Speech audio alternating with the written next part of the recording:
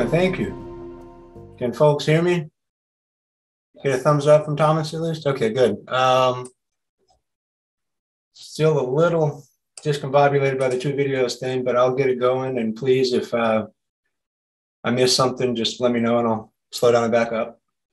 So uh, yeah, really glad to be here. Uh, thank you, Thomas, for the invitation and the, the great intro. Um, I've got several years of working remotely under my belt. So it was really interesting a couple years ago when it became sort of a standard for folks to have different experience about it. Uh, I've done it before it was required, and so it's I've learned a little bit about how to to fit in with teams that are mostly remote or mostly in person. And I like to experiment and be playful with how I work. So I'm hoping to share some of that with folks, and hopefully y'all can learn to enjoy working remotely and feel effective, especially in a Solidus context, which I will get to that bit towards the end. Mostly going to be talking about generic advice on working remotely.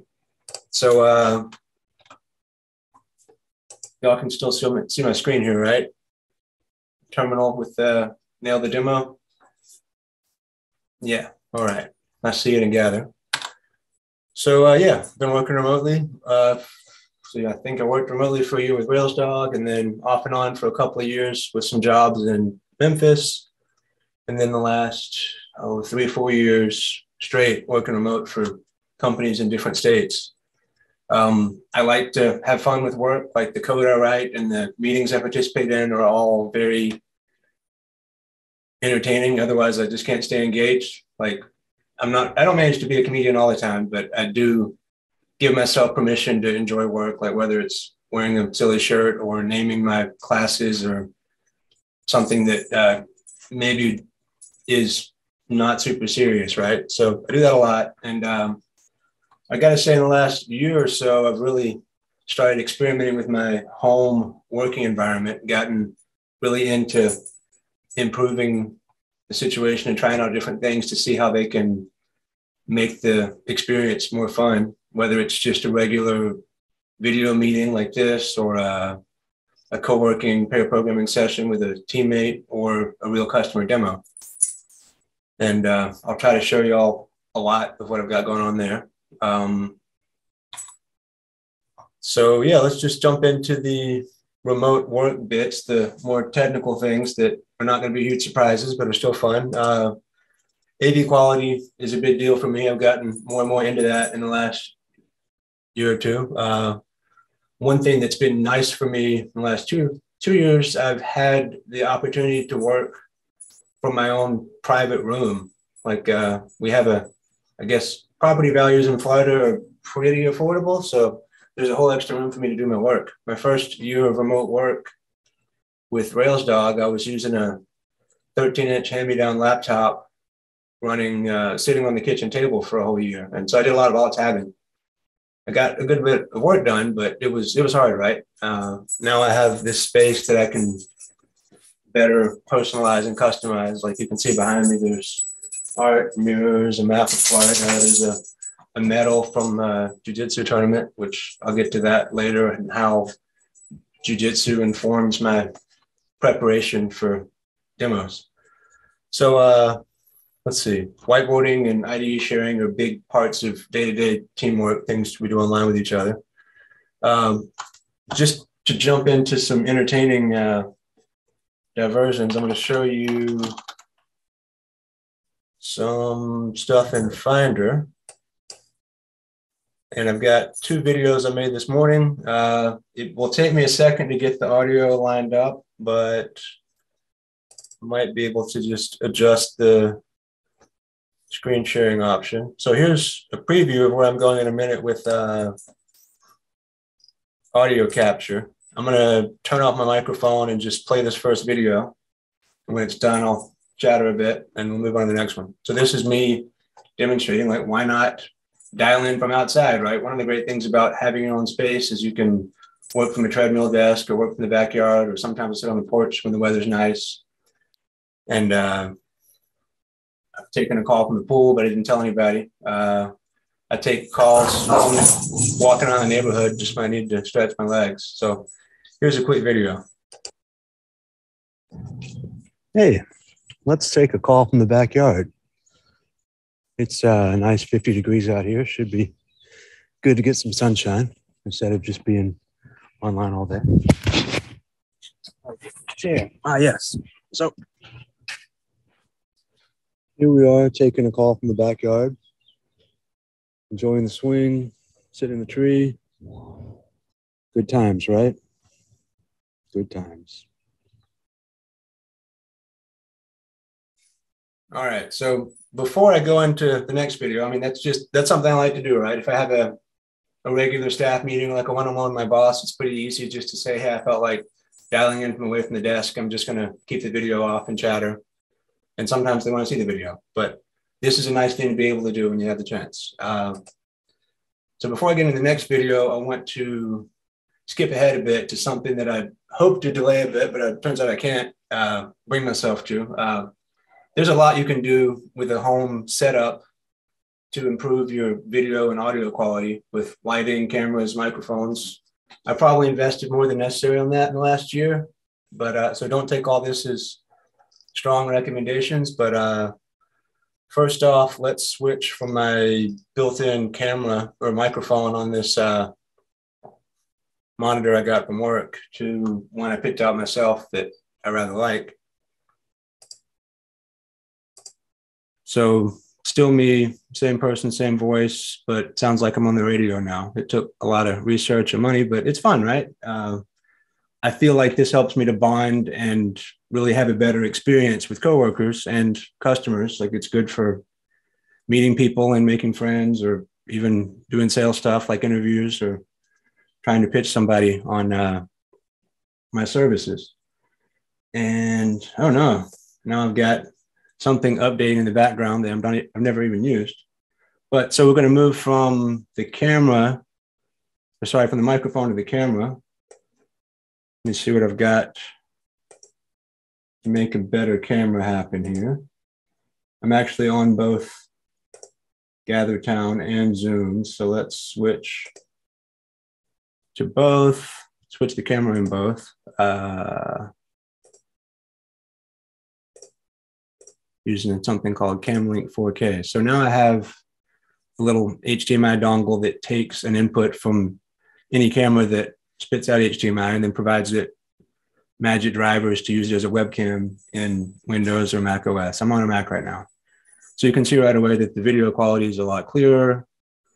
I can mess around with the zoom sometimes, depending on how I'm feeling. Like if I wanted to show off something in particular, like here's the map of Florida. I live in the top left where the three trees are.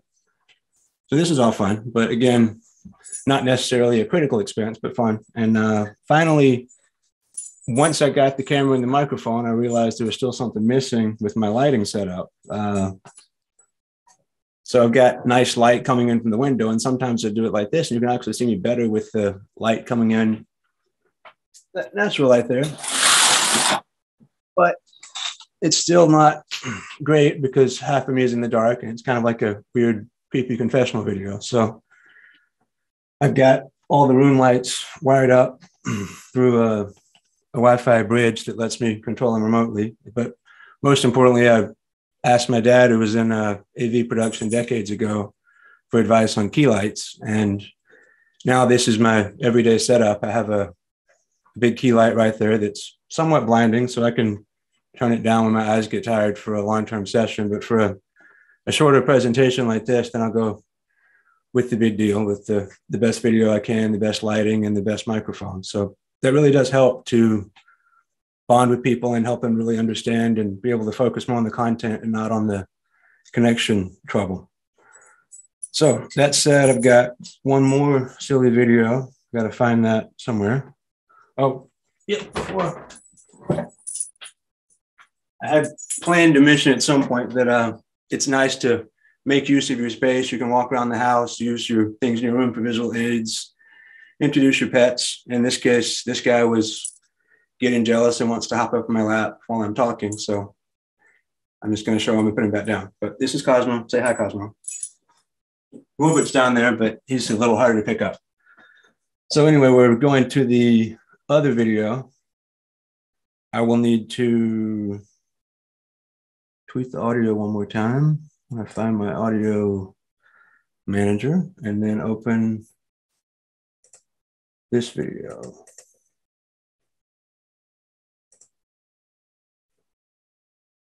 Other times it's warm outside, so we take the call from the pool. Probably have the video off and don't splash too much because you don't want your coworkers getting jealous. But it's still fun to take a call from the pool, right? So here is, oh, today might not have been the right day for that, but we're having a good time. All right, so that's the only the second and final video I've got for today. I just felt like some visual aids would be fine there. Uh, it's you know it's tolerable in Florida. I don't actually get in the pool after say October most years, but still fun to be able to do that. And I did, like I said, take a call from a pool float once, just chatting with a, a coworker about some serious business, and it was a, a nice experience. Um, this is probably way too much for most people, but I have this program I found called Loopback that uh, allows me to toggle through various audio sources. So this is how I've been able to say choose microphones or stream in audio from a specific program without having to switch the microphone selections in Zoom or uh, GatherTown. The main reason I got this is my fancy microphone interface only handles a single channel. So I've spent all this money on microphone and then suddenly it's just coming into the left channel because the thing's designed to take two different microphones. And I didn't know that because I'm not a sophisticated audio engineer, but this allows me to split that channel out to two. So my one microphone just plays on both sides. So that's enough for uh, tech demos. Uh, hope that was entertaining for somebody. Um, let's dig into what we've got next. So yeah, we've showed the cameras and the microphones and the lighting. That's all a big part of the experience for me. Um, another thing that I'm going to try to show. Let's see if I can do this on both sides. I can change. Okay, I can't show this on GatherTown, but I guess it'll be all right. So I have this device called the Stream Deck. Well, I'll just take a picture of everything. And the Stream Deck. So here's just taking a picture and I'm going to drop them on my screen real quick so y'all can see them too.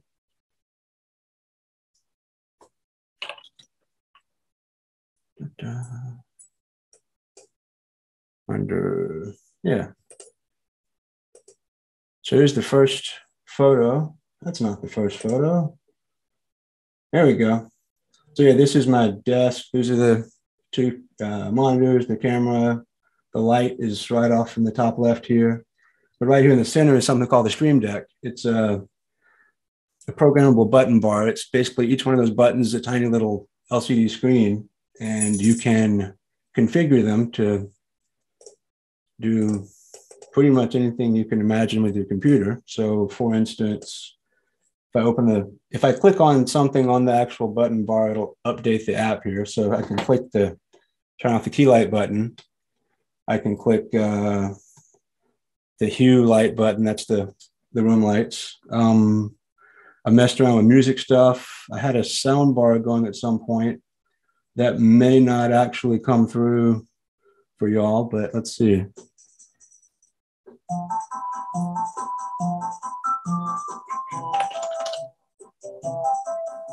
It looks like it's coming through a little bit. I'm not fully bringing in Spotify, but I could be.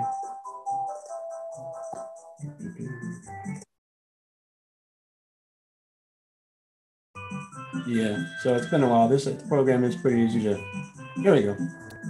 There's the full audio.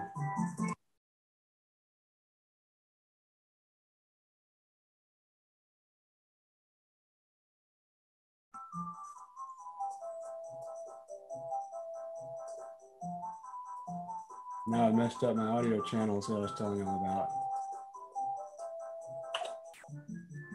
And I don't even remember how to fix it. So there we go. Now I've got this streamed to both. And stop the music. back to the, the button bar demo. Um, it's nice to be able to set up stuff for work. So I work for Rebellion Defense. I've got a, a separate list for a lot of the common apps we use. Like uh, I can open up Google Meet and it just pops open a browser tab. Well, not when I'm in this browser profile, but if I open a foregrounded browser profile for work, then y'all can see, yeah, the meet button will open a tab and show my current meetings and my one-on-one with my boss is usually at this time, but I delayed it so I could come present here. Uh, a lot of GitLab stuff, Slack. It's pretty comfortable. Um, some of the weird names are running in front of shell scripts where I can put together a bunch of different things at once, like say turn on the music and turn down the lights and try to pay attention to what I'm doing programming wise. Um, it's probably all that's worth showing with the stream deck, but uh, let me get my video back up so I can see y'all.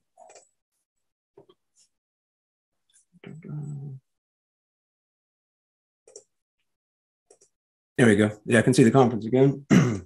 so Stream Deck's cool. Uh, another great thing about having a home office and being able to get at least some equipment paid for by the company. Like they sent me a nice MacBook, what was top of the line at the time. I, mean, I guess it's the 2019 Intel.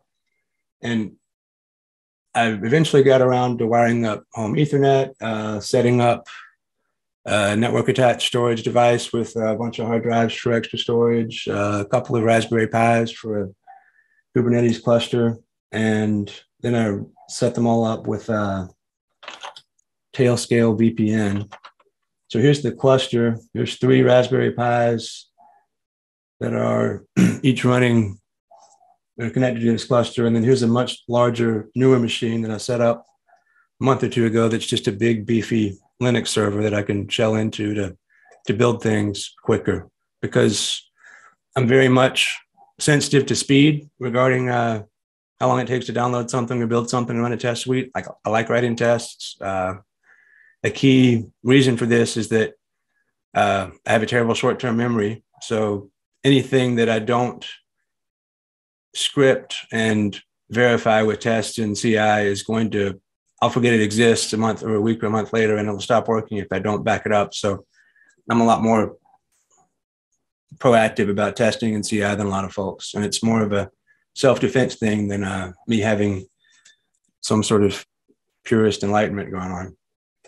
No, anyway, so here's the Kubernetes cluster. I'll demo some of that later.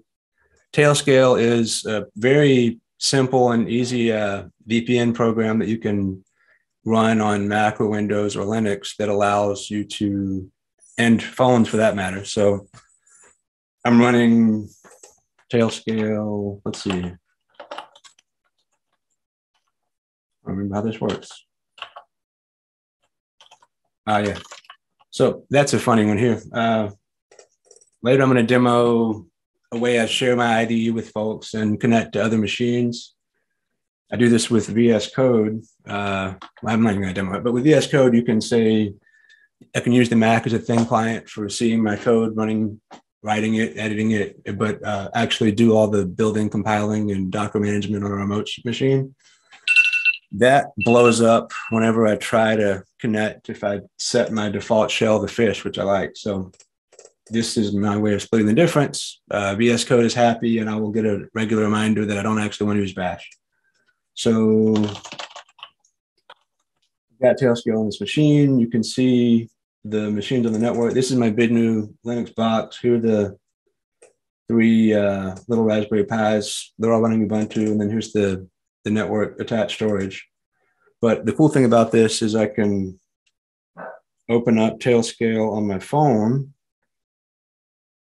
This is a phone provided by work, but uh, now that I'm on, it may just show up right there. Yeah. So yeah, now my phone is being pinged by the the Linux box in the corner through this VPN system. So you should check out Tailscale if you don't know to use it. It's very useful for, say, sharing things across families or teams or just your own computers. Okay, that's hardware for now. Uh, now back to using the space I mentioned before, you know, show off your pets, go get some water. I mean, I have to break, especially when I'm talking, like every half hour to get another drink, and then that means bathroom breaks. But uh, if you're going to be given a demo, it's common to have if, if it's a an impactful or like I said, especially if it's a big sales demo or something you're stressed out about at work, it helps to do your best to get a good night's sleep. Uh, personally, I slept like two hours last night, but uh, because I was thinking about what to talk about today, and uh, it's you know that's hard, but at least seeing it coming and drinking water and eating healthy helps. Uh, I do have different chairs. I'm using a little stool that helps me to sort of maintain good posture and not feel like I'm slouched and my back's broken after six hours at work. I also gotten into, I've never managed to pull off a treadmill desk, which I wanted to, but maybe one day. I do have a little balance board, like basically a skateboard with no wheels on a, a post that I just wobble around on to keep me engaged. It's just enough to keep my core engaged, but also it's sort of like a fidget device. I can actually pay attention and hold the conversation and listen better when I'm doing this because I can't be driving the mouse or really spacing out. So yeah, all of that. I mean, that's great if you have personal space to work on. Go for it. Uh, it's always nice to play with your medium. Something I figured out you could do with GatherTown is to actually check for or to try to encourage some audience interaction. I would like to know if there's a way I can get people to speak to me and talk back in this conference. Uh, Thomas, I heard you before. Can you speak again so I make sure I can know someone's there? You don't need to unmute first, though.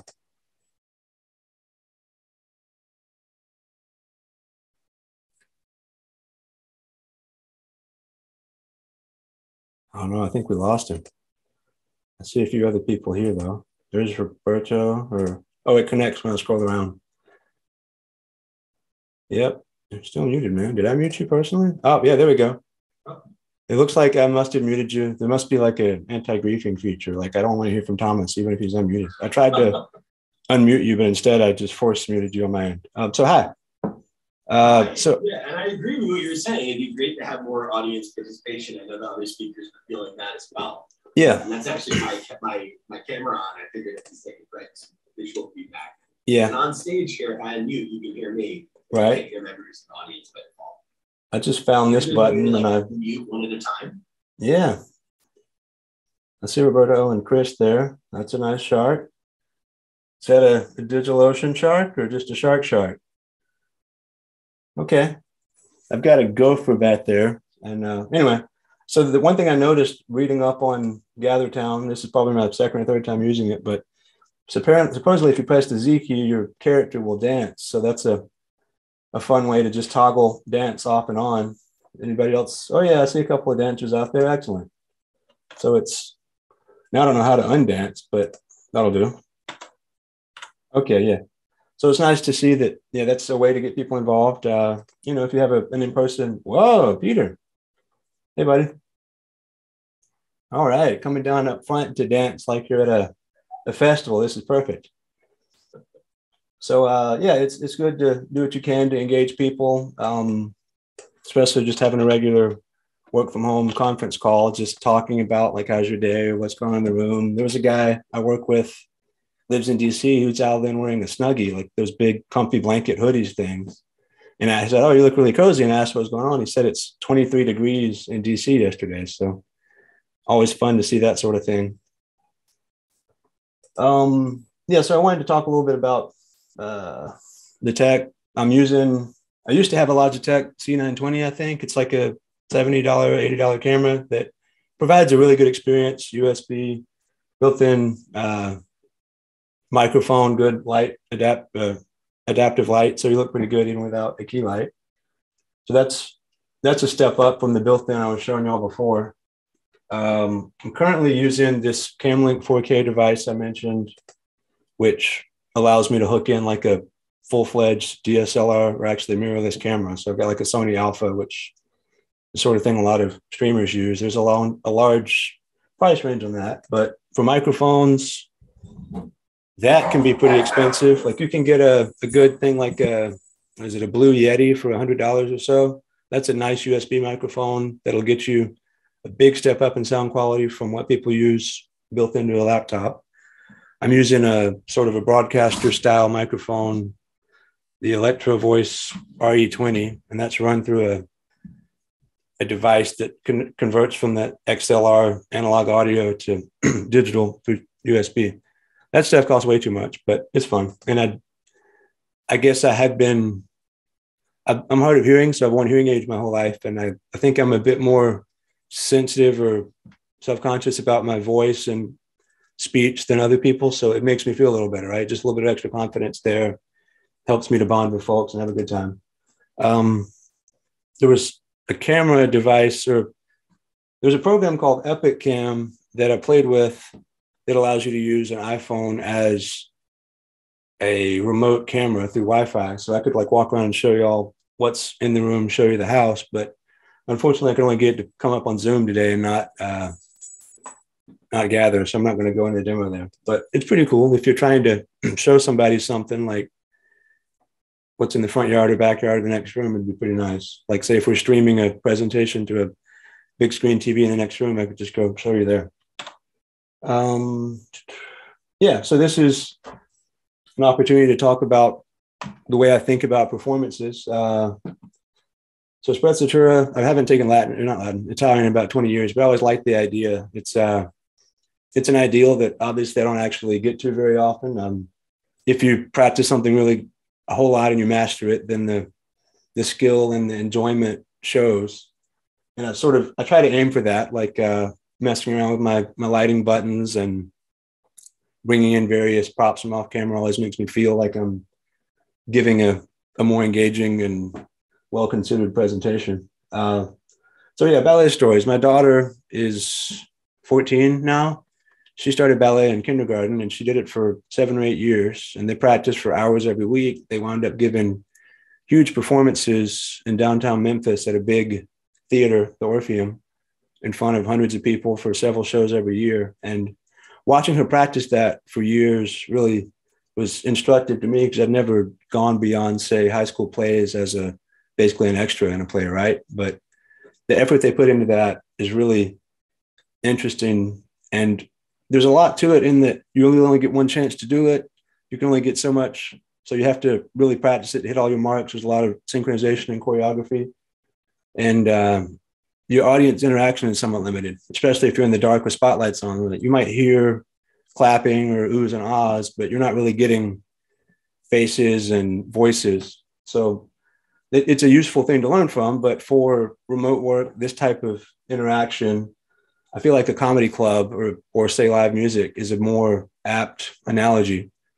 So it's in, in a comedy club, you know, you're going to interact with the people in the front row as a comedian. You're going to you can benefit from telling people the truth in a surprising way. Uh, walking around, you know, having your own props, like this is all normal. Uh, something I've realized, especially having worked from home for a long time, that I notice when other people are new to working from home, they tend to be, they check in like all the time, like, hey, I'm going to go to the grocery store for 20 minutes. I'll be right back. Like, I found that the less people know about what I'm doing when we're not face to face on a work call, the the better we get along, and like the the happier we are, and the more mutual respect we have. Not to say that I'm cagey about my personal life. Like I will spill way too many details about what I had for dinner or like my medical maladies, but uh, yeah, people don't really. You don't need to account for every second of your day when you're in a distributed environment. So try not to. Uh, circus is another type of performance that I think about a lot. Um, some of y'all may be familiar with Katrina Owen. She's a big deal Ruby presenter who used to do that a lot years ago. She's behind uh, exercism.io, a neat code training site. And I remember she was doing podcasts a lot uh, five or 10 years ago, and I was really listening to Ruby podcasts all the time and she'd uh, talked about how she had she gave this huge presentation that was really well received at a conference in Europe. And the first thing she said was that she spent like hundreds of hours on the presentation, and she really nailed down all the details and got everything perfect. And when I found out that her background was in like a post grad program in biology or some sort of hard science like that. It sort of made sense to me that she's very methodical and detailed. But then later, I'm hearing her on a podcast. She's talking about how before she got into sciences, which is what she did before programming, she was actively training to join a circus, like a some sort of clown college. I don't know if it's a clown or not, but you think like Cirque du Soleil stuff. People are doing acrobatics, like she was doing weightlifting and tumbling and all kinds of cool stuff. And it's just neat to take that type of activity and learn from the benefits of dedicated focus practice and the carry over into your regular life. Uh, last couple years, I've been doing Brazilian Jiu Jitsu, which has been, I like to say, it's like the the perfect antidote to a remote uh, programming job because my job keeps me indoors. I don't get any sunlight, don't get any exercise, don't get human contact. But with jujitsu, I'm wrestling with people. Like I'm actually touching people in a socially acceptable way. Like I'm not bumping into people at the grocery store because I'm lonely, right? Uh, it's it's it's it keeps me in good shape. It keeps me happy. It being able to go in the morning before work really keeps me centered. Like y'all may have heard of I don't know, re- advice to like do power poses or take a walk or something before you have a big meeting, just so you can get in the right frame of mind. But jujitsu a few times a week is definitely that for me. And when I can't do it, like in the winter, sometimes it's hard. It's harder for me to stay on top of things. Uh, I have a couple of quick videos. Um, although I might want to go in instead of the videos, I might want to go to straight to my tech demos. Uh, can I get a time check, Thomas? Do you got any advice on what I should aim for here? Yeah, you're, you're doing fine. Uh, just keep going with it, whatever you want to show. The next thing we have is the stakeholder meeting, but that probably will be short, but we can start that a little bit later. Okay. Do whatever you'd like. All right. So let's say let's say we go for 20 more minutes. Here's another thing that helps me when I'm working remotely, a timer program that also, yeah, between that and this little egg timer. It really helps when you have terrible short term memory and you forget who, who you are and what you're doing here today and how much time you have left. So that sort of thing can really help if you're trying to make the most of your demo time. Um, this is not a very uh, good sport on video. Uh, i think I'm in I'm in black. I tend to be longer and clumsier than most of my opponents, so my my go-to strategy is to sit down before they can knock me down because it helps me. They, they get points for knocking me down, and then try to wrap them up and work my way through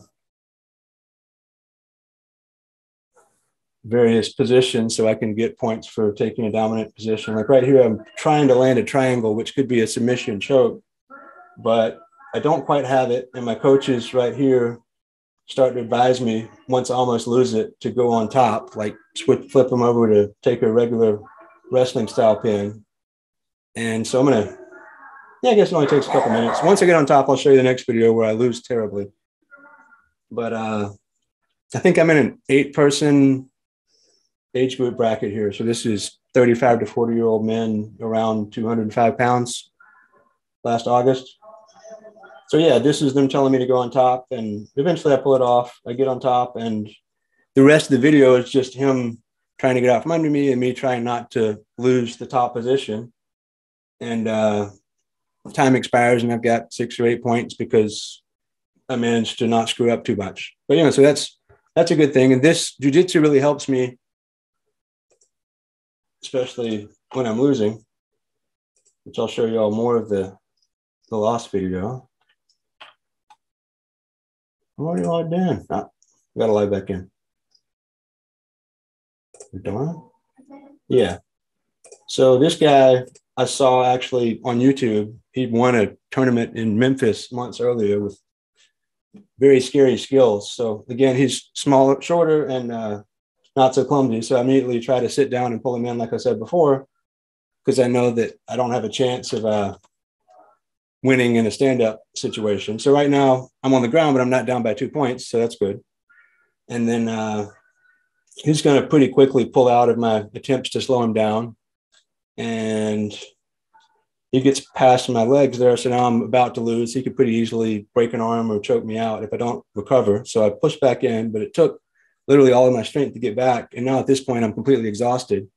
So he winds up doing the exact same thing, escaping, and I think he wraps me up in some sort of collar choke and I tap out. So the lesson here is aside from just exercise being good for you is uh, this gives me a lot of practice with anxiety and perseverance, hard work, that sort of thing, right? Um, this is not something you can get when you're programming. So I'm better able to put things in perspective at home if I'm being choked out by superior opponents 20 times a week, right? And I don't I don't take things so personally. I don't get quite so excitedly way too into everything at work where I, like I can easily get upset when someone's not doing something the way I want them to at work, right? So this, yeah, feeling like that is a nice counterpoint.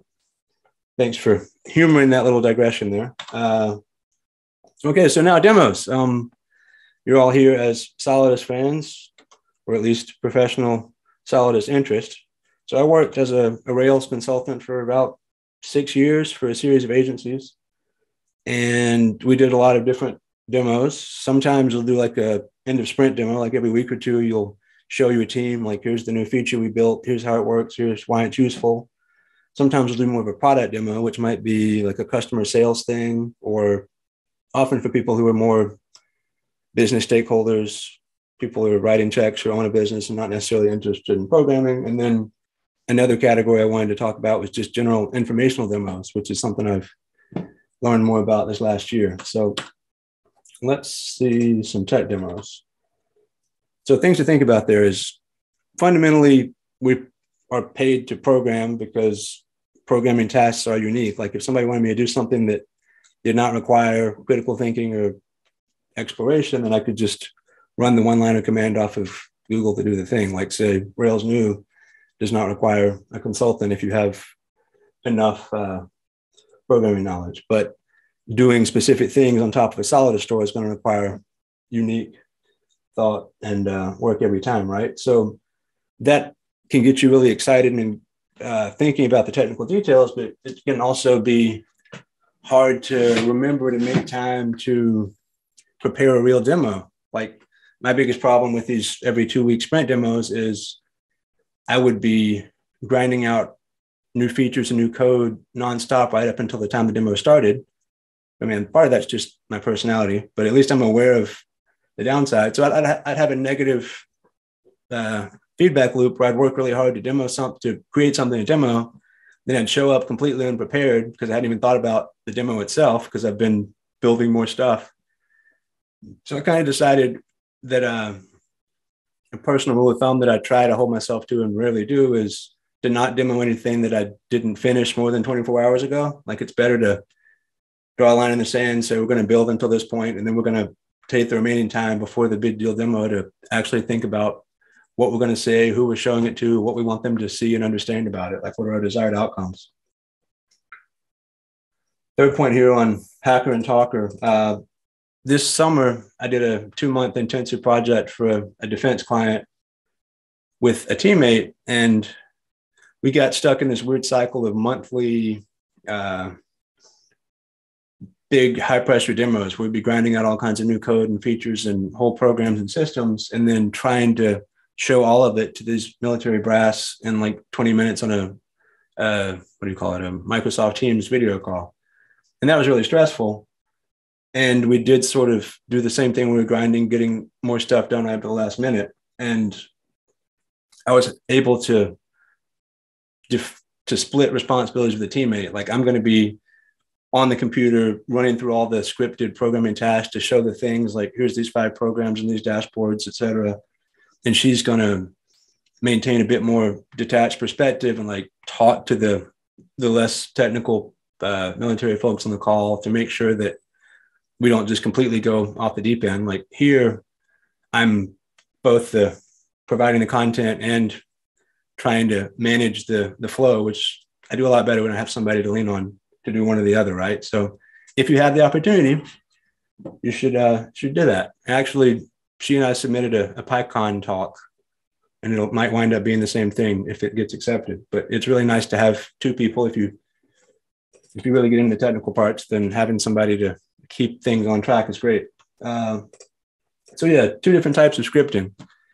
In that particular demo, we wanted the customer to see these four or five specific things. So we had a, a Google Doc that explained like the run of show, like we're gonna do this, do that, do that. Like imagine a program at a a play, like act one, act two, act three, that sort of thing. Like we had that, so we made sure to hit our points on the way through, but we also scripted everything. Like we are running, I don't know, a dozen or two dozen different command line invocations of various Python and Go and other programs and trailing tailing logs and all kinds of stuff. So as we built up the demo, we wound up building like a whole separate Git repo with make files and shell scripts and stuff to track every little line item we want to demonstrate. So that is something that helps me a lot. I know I mentioned earlier that I have a terrible short-term memory. So again, I don't trust myself to remember the, the syntax to, to run the four, five things I want to show y'all after this. So that helps a ton. Uh, you always want to have some sort of visuals uh, backed up in case you have demo trouble, like maybe you got Wi-Fi problems or the code's changed and you didn't manage to get the stuff fully automated. Uh, and that is a benefit to having the, the code in a script so you can at least talk about what you wanted to show. So like right here, what I'm demonstrating, what I'm showing all is uh, a markdown. Yeah, a markdown file that's on GitHub that represents the demo, but also, let's say if I want to demonstrate, here's a Solidus demo. Later, I'm going to show you all something I mentioned that Docker being slow is a pet peeve of mine. So I set up a, a script to build a Rails image that's like from Docker or uses the default Ruby image, does installs Rails, and then that's like a, a cached baseline. And then I have a separate one that's from a, an Ubuntu container that already has Rails installed, run Rails new and Solidus or Rails generate Solidus, install all of that just so I could time it and show you the difference. Um, so it's cool to have this. If the demo just totally fails, you can at least see that and we'll give me some things to talk about. But also, I have the results sort of standing by. Uh, so here's Pollard. That's my big fancy new Linux box I built uh, a few months ago, running the the build and install or from a from that baseline run Rails new and then uh, bundle install or bundle add whatever Solidus and runs the the generator. That takes a minute 42 using this uh, uh, open telemetry CLI tool that exports metrics to a remote server. So here's the same thing running on my MacBook. Uh, it was four minutes and 34 seconds. Now I can actually show you all some of that in the background now that we're there.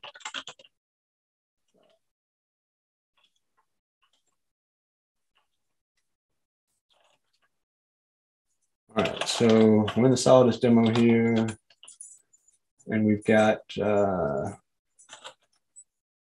yeah, we've got mate time rebuild happening here on that machine. And now we're gonna do the same thing on the Linux box. Gonna log in to Fish.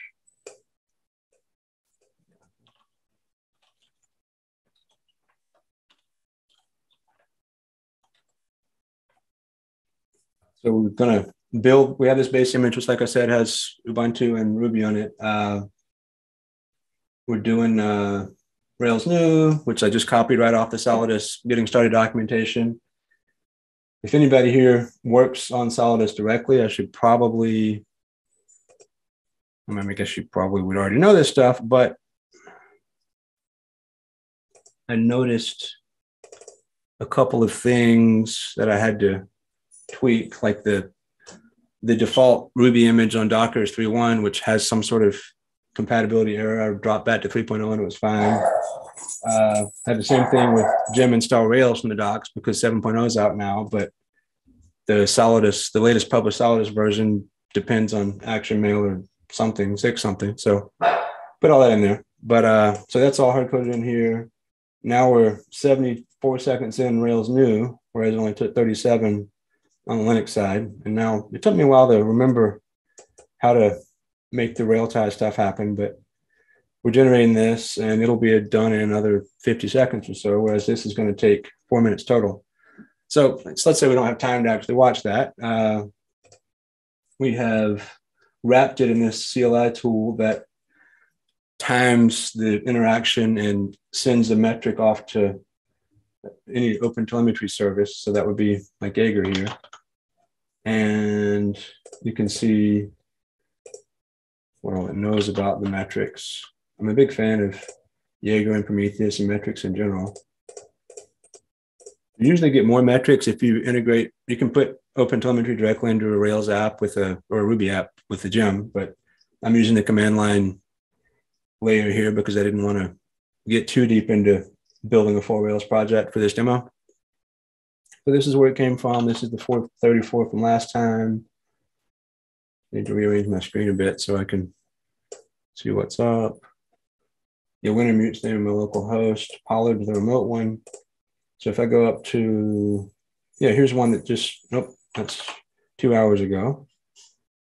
So if we search it for fresh traces, here's one two minutes ago, it took a minute 58.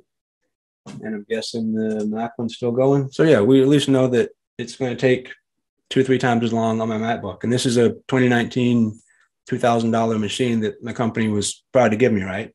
And it's a good machine, but I'm still basically using it as a glorified thin client to a homemade Linux box that costs less than half as much and gives you three times the performance. So cool stuff to be able to do with a home office. Cutting it close on my self-imposed five minute timer there. So let's see if I can find where that presentation went. Looks like I killed it, but that's okay. It's just a terminal app. Um,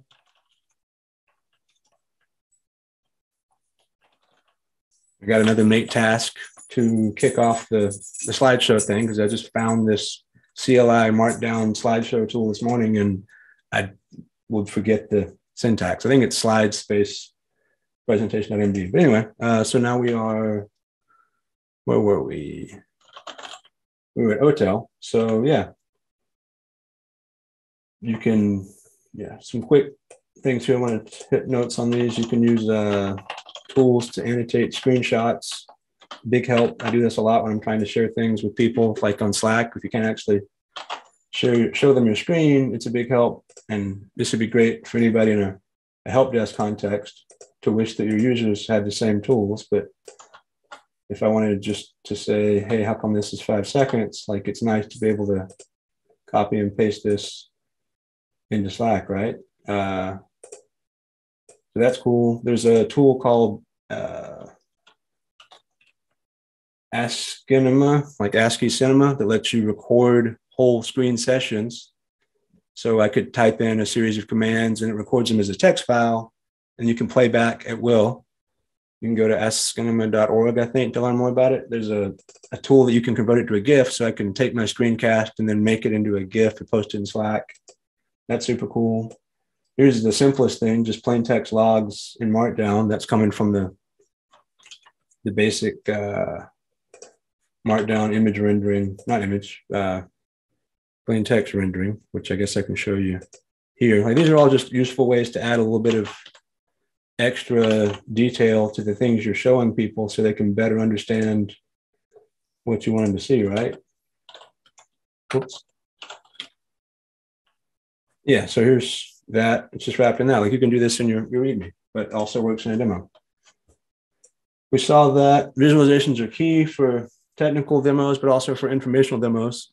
I got to speed up to show you both of those. Uh, so yeah, you saw the Solidus install demo, and it's nice to be able to show visuals to help people like just run into Rails news in two different terminals may not be super engaging or make the point really clear, but being able to see the rendered data helps a lot. Uh, so here's one that I like to do uh, just to show people, like, let's say I built a new website, like I'm Mr. Solidus contractor man, and I've just spun up a new Solidus app for you to look at on Heroku, right? So goofy stuff like this, you can make a, a QR code to, to open the site and then they can just fire it up by using, I think I used a tool called qrencode, but so here's the Solidus demo site, which I imagine you'll have seen more than I have lately, but isn't nice if you're just trying to make basically the same thing that I was just showing there, but actually make it more meaningful to a, a less technical and more business oriented stakeholder to be able to show stuff, not just like in my browser, which is the, the go-to, but it definitely makes a different type of experience to see it in an actual phone rather than just showing it zoomed in on the phone. Uh, and yeah, it's always important to try to get a feel for who is listening, what are what are they hoping to learn from it, like what are they afraid of, what are they excited about, and help them to get what they want to out of your your talk or your demo. Uh, this is a big one that I like. Uh, super lo-fi wireframes. I forget the tool that does that, maybe Balsamiq but I'm sure you've all experienced the pain of showing somebody a UI that's not actually right up to anything on the back end, and they think that the program is done. And like, oh no, we've got six months of work left to actually build the thing. This is just the HTML, right? So, super low-fi wireframes help a ton when avoiding that. Um, informational demos for the last few minutes we got here. There are a couple of big, I guess, yeah, two big stories. The the big uh, government demos I was working on this summer, uh, we were building integrations. We, we, were a subcontractor for a huge prime contractor that's managing a, a giant government contract with lots of subcontractors. And most of what we had to do was building visualizations and a big data processing pipeline that directly integrated with like five or six different content processing APIs. Like let's say I've got a text file and I want to translate it to a different language or a WAV file, I want to detect the language and do speech to text. There we go. Gonna wrap that up quickly. So the thing is the the main contractors, they were providing our services to integrate against, supposedly, but the specs they sent us were PDFs. And this it could have been like the things didn't quite work to spec. And I started feeling like I was losing my mind. Nothing worked the way I expected it to. Wound up having to build a lot of tests, but also ultimately built a ton of visualizations to show things like I hit your API 10,000 times yesterday and 99% of them through the same 500 code, right? Like it helps be able to give people those specific details in a way that's not really confrontational to help get through those problems. And that's, that's a big deal with any kind of subcontracting or just multiple technical organization situation. So here is sort of a, a local demo of a similar but much smaller problem I have. My cable modem craps out all the time. Uh, so now I've found a, a tool that scrapes the cable modem, logs into it, and gets stats on signal to noise ratio and various other modem health stats. So we actually had an outage earlier this week so it didn't come to this, but I kind of was worried it would. Uh, if I ever have to get on the phone with MediaCom for two hours to tell them, yes, I really do have a problem and yes, I need to fix it because I don't want really change companies. It's nice to be able to just report this sort of thing. Like if you start reading off your numbers from your automated stats, people will generally just concede the point rather than saying, oh, no, it's definitely your problem. You tried rebooting it? So this is good and it allows you to to make the conversation more about what is going on, what can we do about it together, and not about like, am I doing it wrong or who's falling down on the job. So there we go. I went a minute or two over my uh, made up end time, but that is everything I wanted to show.